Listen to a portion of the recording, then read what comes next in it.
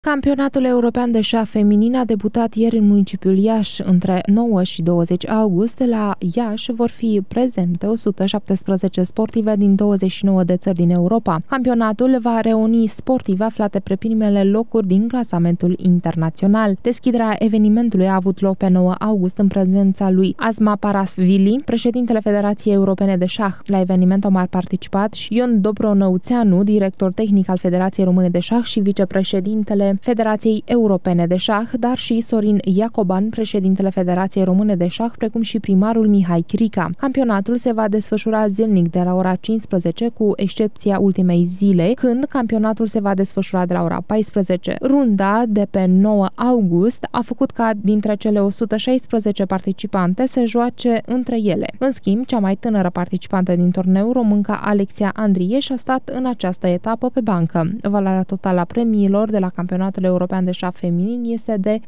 300.000 de lei. Vor fi premiate primele 20 de participante la această competiție. De altfel, câștigătoarea va beneficia de un premiu de circa 50.000 de lei, adică de 100.000 de euro.